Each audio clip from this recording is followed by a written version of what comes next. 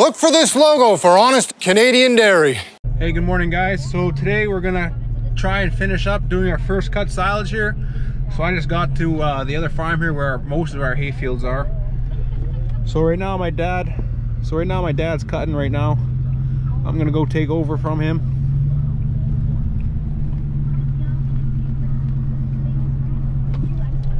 So like I said, we already did about half of it. I'm just gonna make a video about uh, cutting and chopping.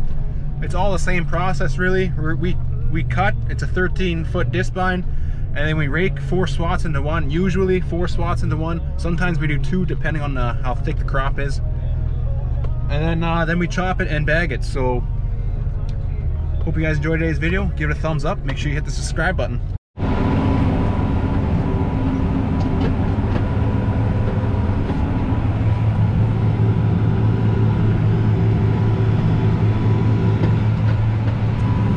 Cutting for quite some time now.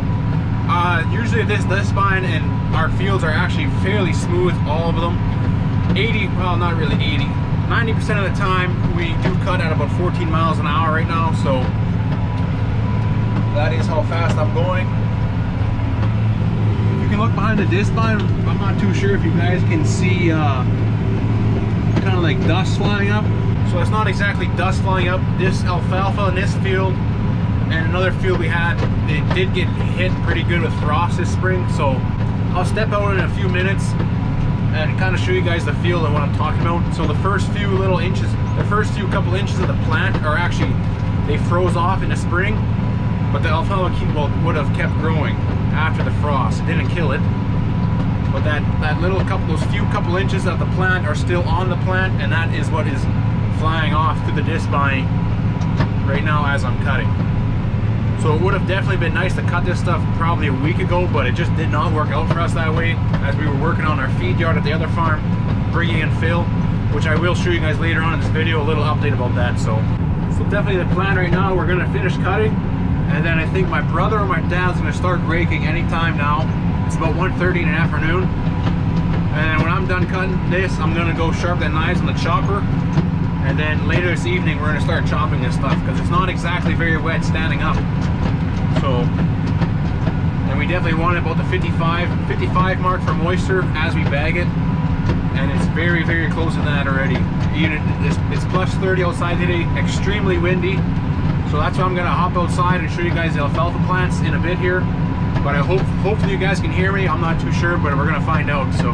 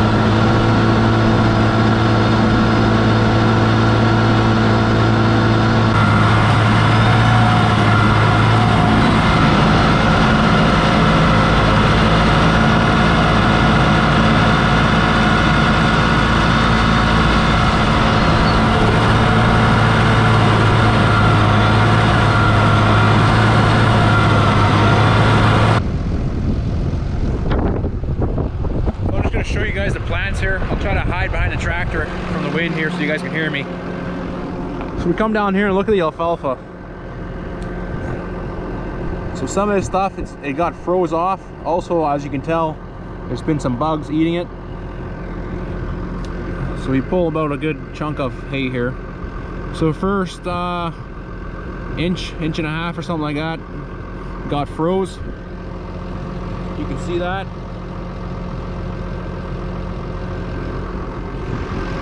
The first inch and a half roughly got froze and that is kind of what you guys see shooting out of the discbine. That's getting, it's kind of getting flown away in a bit.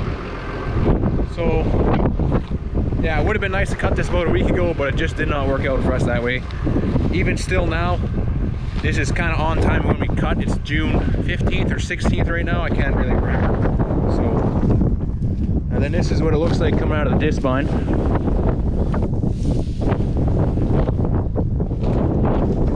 Have rollers on our spine, not flails.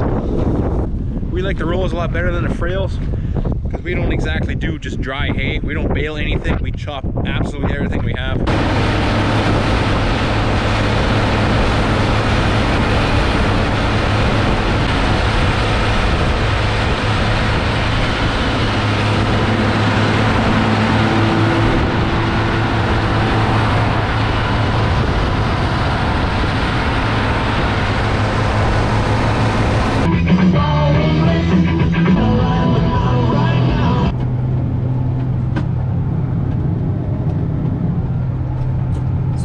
Done cutting hay here. So now my dad and my brother, it looks like my brother's uh, raking right now. So he's gonna be done raking this in probably two or three hours roughly, something like that. And then we're gonna start chopping right away. So I'm gonna go get this discbine unhooked. Then we're gonna run over to the chopper, sharpen knives on there, get that all ready to go.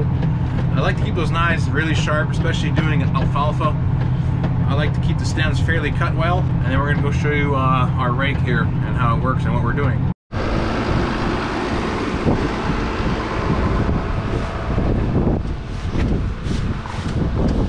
So first things first here to unhook this, put these safeties in. It's kind of hard to do this with one hand actually. Usually you need to get those safeties in there.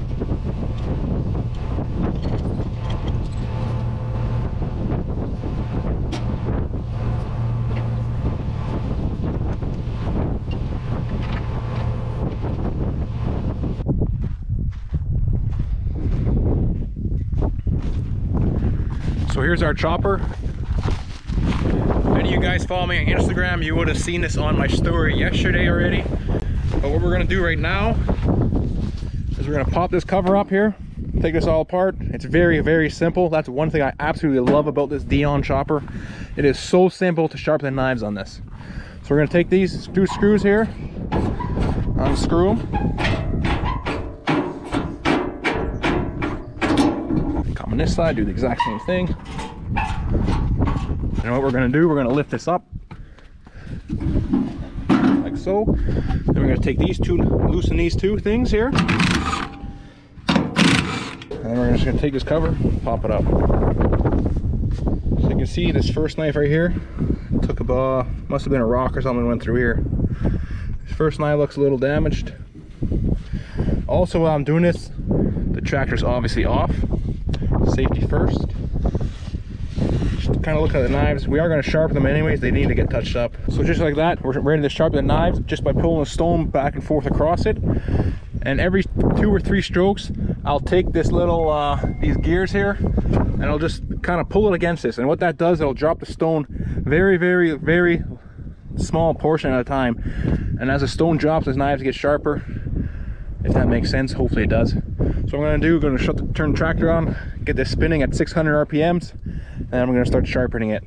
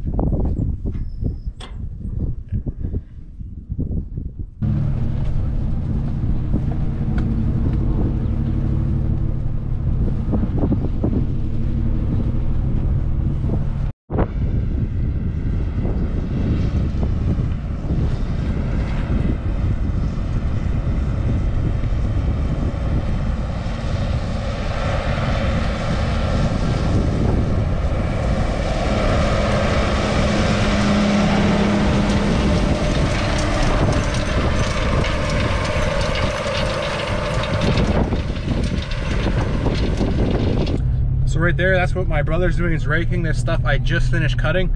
We are gonna start chopping as soon as he's done, so I got about an hour-ish to uh, go grab some food or something. But yeah, what he's doing, he's grabbing two rows swinging them over to the side and coming back the other way and swinging two rows into those other two that he put. So we're doing four into one. That rake is a right hand delivery discharge. Both rotors spin the same way. It's a very good rake, but also I don't really like that rake. I'd rather have a merger. Triples with mergers on the back of them would be ideal for us, honestly. Then we can just skip out the rig completely, do everything in one pass, but that stuff's not cheap, so we're just gonna do what we do here and work with it. So just hopped on my quad here. I'm gonna go give you guys a little uh, update about our feed yard here. We're kind of filling in. So this is kind of what it looks like right now. Starting to kind of take shape a bit. We are actually bringing this up about three feet in some places. This is just such a massive hole here. So we've been hauling in fill for about three days straight now. Or three good days anyways. Still got the bulldozer here. He's kind of pushing it as they bring it in. So there probably is about a good, I don't know, 200 loads here already. And we're probably just over half done filling this in. We are making about a 150 by 300 foot pad. So that's kind of the plan right now. So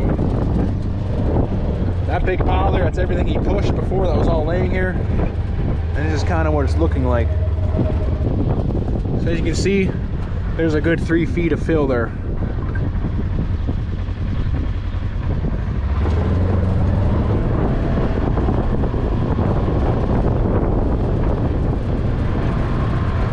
So it's definitely starting to shape up nice. I'm gonna go show you exactly where we're digging for all this fill.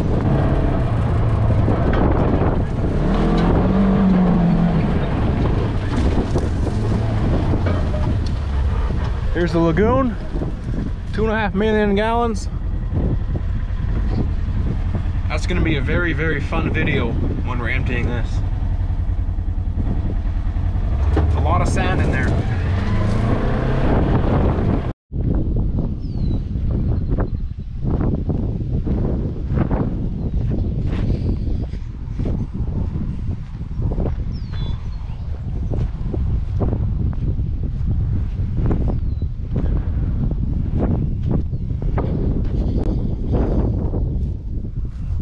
So back here, this is where we're digging all the fill for that area by the barn.